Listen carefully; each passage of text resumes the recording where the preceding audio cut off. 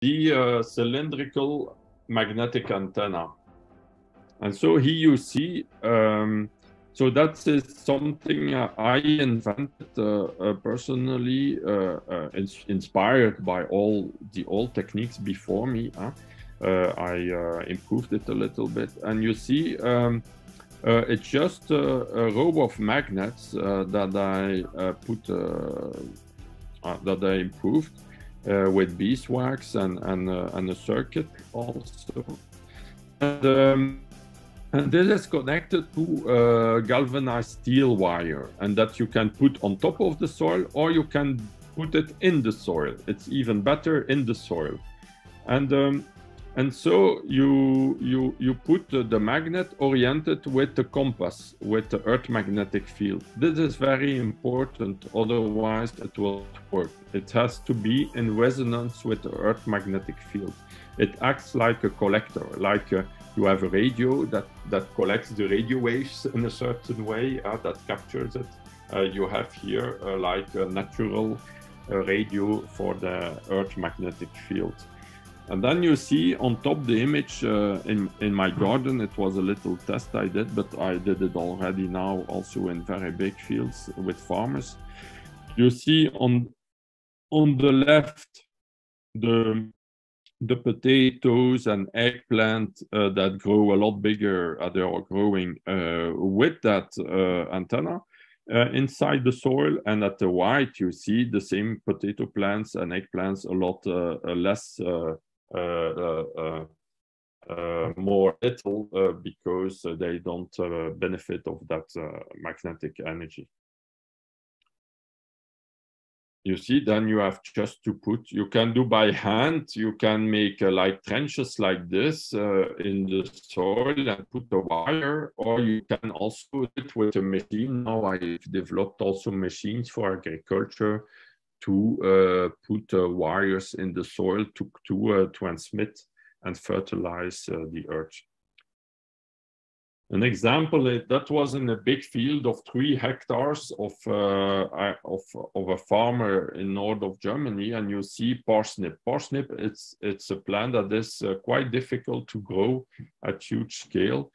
And uh, you see on the left a lot more um, vegetation of parsnip uh, uh, on the field with, with a cylindrical um, magnetic antenna and on the right less. And, and when he measured the nutrient content, uh, he had 23% more essential oil in the parsnip. So that gives you an idea. It was, the plants were a lot bigger.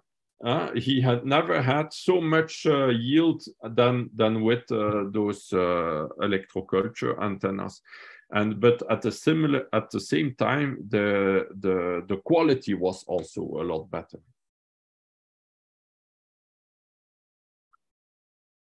So maybe you ask yourself, ah, maybe it will work uh, uh, only in Europe, but here's an image of Brazil on bananas. And you see on the right, uh, on top, you see on the right a row of uh, big, big banana plants, uh, trees growing, and in the middle, the, the bananas are still little. The only difference, they were planted at the same time, it's that the row on the right is with a cylindrical magnetic antenna. So they grow like two times faster. And below you see the, uh, uh, the same, you see the, the picture below. In the middle, we have the, the, the, the cylindrical antenna in the earth and on the sides not. And you see that the further away you go from the middle, the the the more uh, little are the banana trees because of that. So this is the place where they do it already. It's a huge uh, farm in uh, Brazil where they do it already since five years. Uh, also, I have different kind of magnetic antennas. Uh, so I show you two, two pictures there. Uh, also, the carrots, the carrots you see on the right, also a big carrot, and on the left, little carrots. So in the past, at that farm, the carrots were always a little like this because of the soil. And when I put uh, the magnetic antennas, uh, they become really huge because magnetic fields are very important for good plant growth and fertility. Another example is on corn.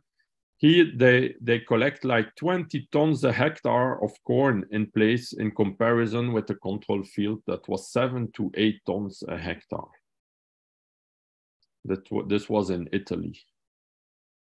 Here that was in France, uh, on cabbages. You see on top the cabbage field growing a lot faster than uh, below, uh, uh, and it was also with magnetic antennas.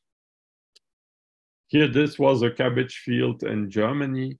You see on the left, the two pictures on the left, you see uh, uh, that the, the color of the of the cabbages, the leaves are not so green, uh, less green than on the right.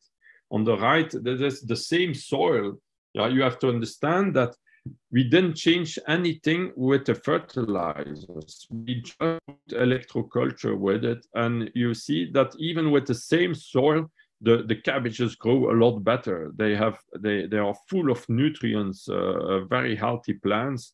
And on the left, you would think that uh, they they lack of something uh, because of, of, the the color of the leaves. But no, it's just uh, because uh, on the right uh, they they are with um, on the field with cylindrical magnetic antennas. Also on wheat fields, you see a huge difference. You see the difference. It's also more than double yield. If you see the, the grains are a lot bigger and, and